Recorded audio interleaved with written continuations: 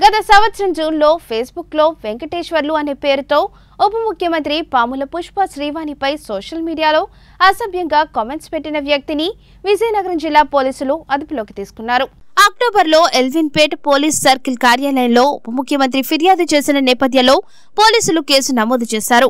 నిందితుడు వెంకటేశ్వర్లను బెంగళూరులో అదుపులోకి తీసుకున్న పోలీసులు నిందితుడు నెల్లూరు జిల్లా కావలికి చెందినవాడిగా గుర్తించారు.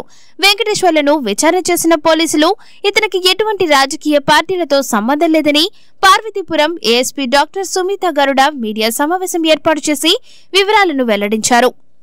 లోకల్ రోడ్ సైడ్ హోటల్లో ఒక వర్కర్గా పనిచేస్తున్నారు సో ఈ కామెంట్స్లు ఎందుకు పెట్టారు అది అడిగితే ఆ ముద్దయ్య చెప్పారు ఒకరోజు మందు తాగేసి కొద్దిగా ఆవేశంతో నేను వీడియో చూసి ఇలాంటి అసభ్యకరంగా కామెంట్లు చేశారు.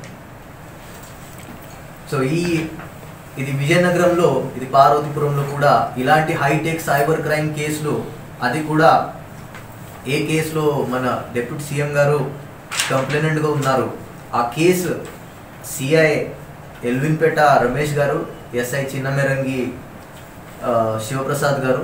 దాని తర్వాత మన విజయనగరంలో ఉన్న జగదీష్ అని ఐటీ కోర్ పీసీ వాళ్ళు ముగ్గురు కలిపి చాలా చక్కగా ఇన్వెస్టిగేషన్ చేశారు. ఇది first time agency area police station పరిధిలో ఒక సైబర్ క్రైమ్ లోకల్ పోలీస్ ఎవరికి హెల్ప్ తీసుకోకుండా సొంత బలంతో ఇన్వెస్టిగేషన్ చేసి ముద్దాయినికి రప్పించడం జరిగింది.